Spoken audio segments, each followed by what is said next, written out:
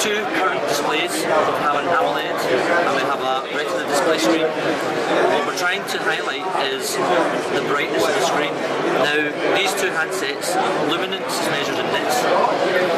They're between 300 up to just over 500 nits. The Optimus Black is one of the brightest, the brightest screen and it's 700 nits. Now if you go outside into direct sunlight with normal screens you'll get a lot of glare. With this to 700 nits, and you'll be able to see your phone quite clearly.